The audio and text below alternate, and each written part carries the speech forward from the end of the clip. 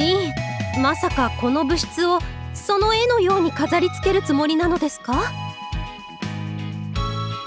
ゃほら飾り付けした物質のイメージはこんな感じ。すすごいです。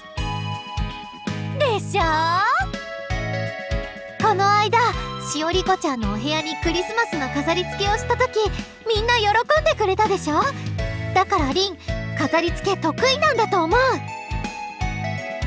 確かに和室をうまく飾れましたね。リンと海ちゃんが頑張ったもん。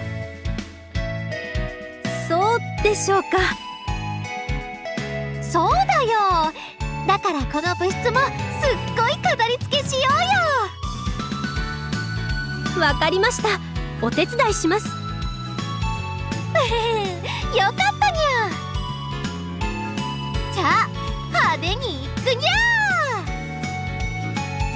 ランジュの影響を受けてますねリン。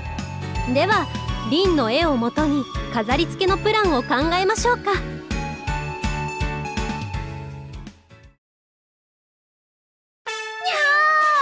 どう考えても予算オーバーになっちゃう。問題はツリーですよ。やはり本物のモミの木を使うのは難しいです。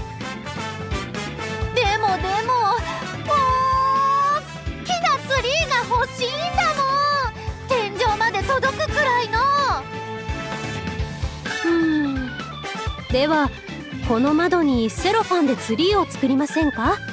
それなら天井に届くツリーが飾れますよ。セロファンなら100円ショップでも買えますし何より場所を取りません。飾りも好きなものを作れますよ。